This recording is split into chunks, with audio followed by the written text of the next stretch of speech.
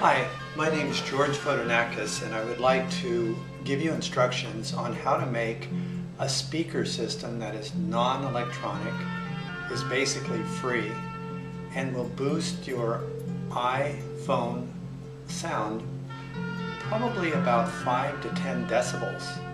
I really like this because I like to uh, mount my phone on my bicycle and I can hear it because it projects the sound up into my ears where I'm actually doing my hearing rather than down into the ground.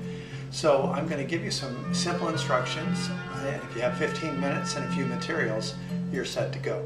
Here are the inexpensive materials that you can use to make this speaker system. From the left to the right I have a one gallon milk container that's plastic. Next to it I have the OtterBox Defender series case and the belt holster that came with it, good sharp scissors, some fishing line, this is four pound test, it doesn't really matter, a permanent marker, a ruler, and a can of 15 ounce um, canned goods. It doesn't matter the variety, but the size of the can. Now, step number one is you're going to find on the milk container two large flat surfaces. You can see on this side there's a flat surface, and if I spin it, there's a nice flat surface here. The other two sides are indented because of this handle. We're going to use the flat surfaces. On the milk containers I got from Costco, they have a very lightly marked circle that's about two and three eighths inches around. I'll check that, two and seven eighths. Now, if you don't have that marking on there, you can use a soup can, uh, any 15 ounce can to make that traceable mark. I would next cut out the flat surfaces of this gallon container so you don't have to be dealing with a object that's hard to manipulate. So we're going to go ahead and cut that out. I'll do that off camera. By the way, if you have trouble penetrating the gallon container with the scissors, you can take and keep the cap on so it's inflated. And you notice right here, I pierced a slit with a steak knife. Now, if you're a younger person, please get adult supervision so you don't hurt yourself on this. I'm going to go ahead off camera now again and cut out the large flat piece of plastic. You can see now that I'm done with the flat cut. I didn't have to worry about being too perfect on this because we're going to clean it up right now. My next step is I'm going to place the soup can in the center of this area and trace a nice circle around it. There it is, my 2 and 7 8 inch circle. That's the diameter traced onto the plastic. Now our next step is we're going to measure for the insert that we're going to make into the iPhone.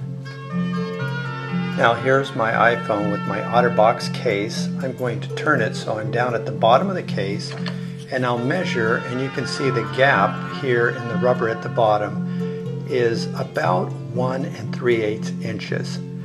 That might be a little big, but it's better to go big than small. So we're going to make now a rectangular tracing coming off of the circle at that 1 and 3 8 inch measurement. Here is the completed shape. You notice I have the 1 and 3 8 inch tab at the bottom and the two little notches, I'll come a little closer here, on each of the sides of the circle. Now we're ready for the final couple of little steps. Now you're going to want to take the fishing string and make a tiny loop at the end. This one you'll have to experiment with.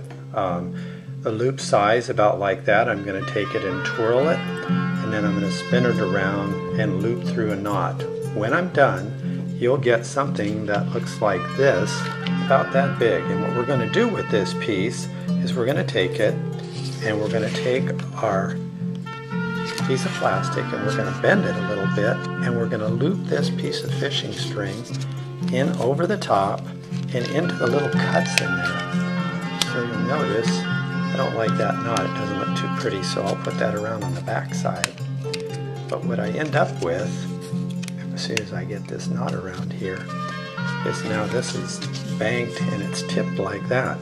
The last step is I'm going to take and bend this right about here, right on the line. You can see it's bent and it looks about like that. Now watch what we do with this.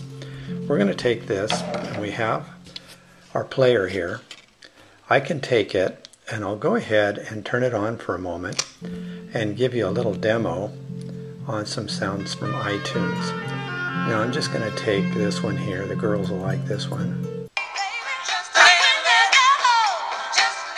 Don't want to put it too loud. Now the problem is all your sounds being directed down here into the table and not out towards you. If we take this device and we slip it right here into the base, it fits right underneath the cover and slides in.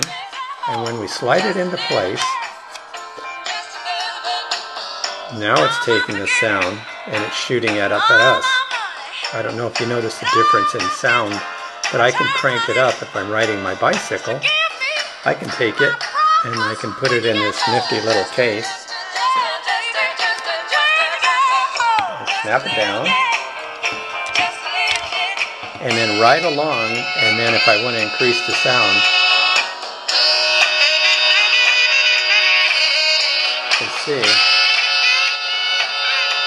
what we have happening here is the sound is being projected down into this plastic area that we made and then the plastic is reverberating with the vibrations of the sound and it's kind of um, ac actually uh, amplifying a little bit plus it's projecting the sound up into your ears. Uh, have fun with it, see what you end up with and I think you'll enjoy it. Um, over and out from here.